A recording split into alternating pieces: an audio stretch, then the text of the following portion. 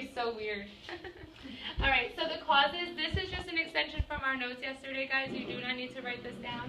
But yesterday we talked about the four clauses, farm debt, consumer debt, um, declining trade, and then the stock market crashing. I just wanted to make sure that you guys had a little extra detail. So all of this will be posted online anyway with the vocab words and whatever.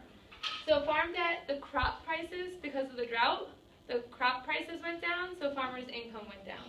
So that's how the farm debt um, increased. Um, consumer debt, consumers were buying more on credit than they can actually repay. So we need to make sure that we pay our bills, right? Because if a lot of people don't pay their bills back, then it becomes a problem. Businesses produce more goods than people can buy.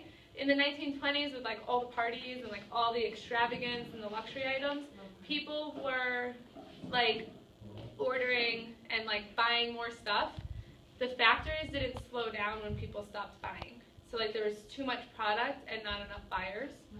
Declining trade and the high tariffs on the imports, we had fewer overseas markets because of this. So like the like we stopped being able to do business because the um, depression went like worldwide. It wasn't just with us.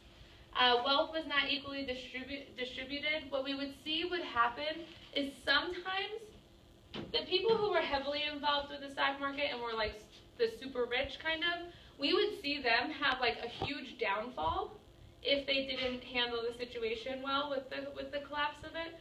So like they would go from like being very rich to like very poor. It wasn't unheard of to be like in a mansion and then on the street. Um, most of the middle class moved into poverty. Um, and then a lot of the rich moved into middle class or lower. So we saw like a huge shift and like some people were still wealthy, but for the majority there was a huge group of people who were not. Caroline? If you were still poor, would you like just stay poor and You would just be poorer? poorer.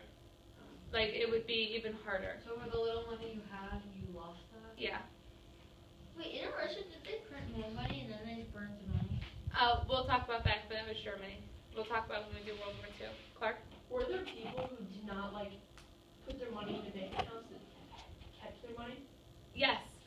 Yeah. Were they the smart ones?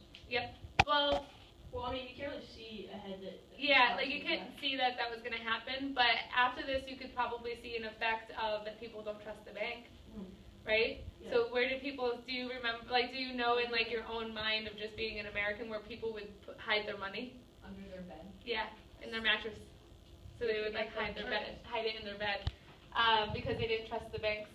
Um, so one of the causes too is the stock market crashing. Wait, so they weren't just robbers, like steal money so easily? Well, I mean, Well, you- it was it it was more common like to find that out after the fact. But like people didn't trust the banks, so they would hide it in their home. Um, the effects. So many banks would run short of money and they failed. Businesses had to lay off their workers because they couldn't afford to like pay their people, so people lost their jobs. So as a result of that, unemployment, hunger, and poverty went like widespread. Economic failure spread throughout the world. And then we see our example here of small government, okay, with Herbert with Herbert Hoover. Um, so he responds cautiously. He felt the government should stay out of business, um, and that the economy would eventually fix itself in time. He's not technically wrong. Over the course of history, just like the wave of big, small, and like big, small government, that's the same thing. We've had waves of like recession, and then like the economy's good, and then it's bad, then it's good.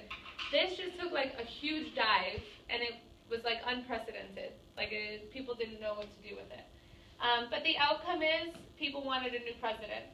Okay, um, so Franklin Delano Roosevelt becomes our new president. And last night you read about the New Deal. So FDR launches the New Deal. Okay, um, you can pause it now.